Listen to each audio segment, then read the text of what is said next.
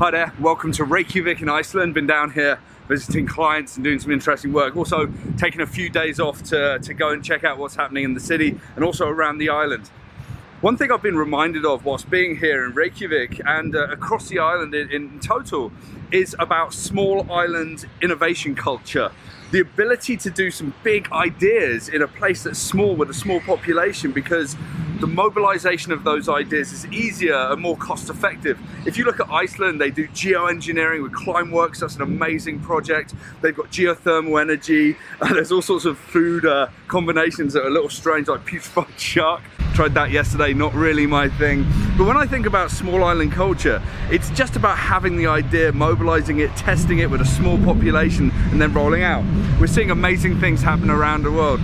So Costa Rica has been running for over 320 days just on solar power alone. If you look at New Zealand, it's where banks go to test out ideas. Chip and pin's been there for over a decade, and that's because they can test out on a small population, refine the process, then, then blow it out globally. So it's not just about small islands, it's not just about small places. If you're a large company or if you're a country, you can focus in on, on a concept called hot housing.